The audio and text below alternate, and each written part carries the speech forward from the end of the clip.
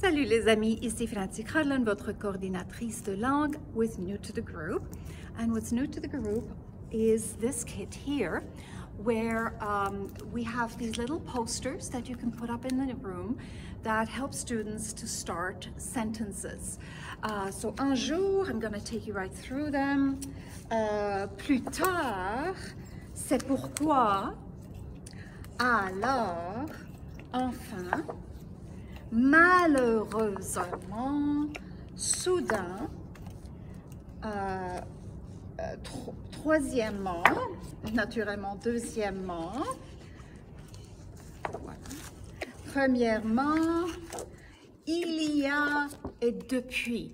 And when we are getting up to the B1, uh, B2 level of DELF, these are nice words for students to really have at the tip of their tongues, at the tip of their fingertips, um, so they can make their sentences sound a little bit more mm, established and respectable, a little less simple. We're looking for a little bit more sophistication and having these sentence starters can uh, give it that air of sophistication.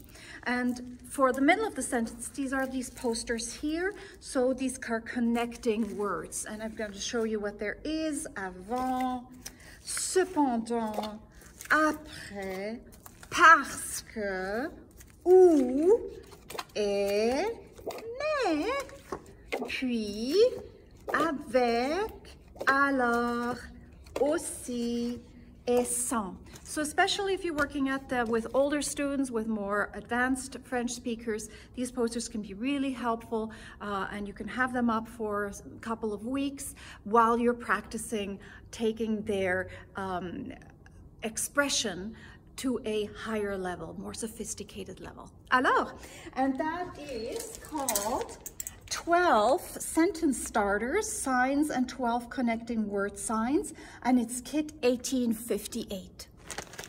Salut, au revoir, à la prochaine.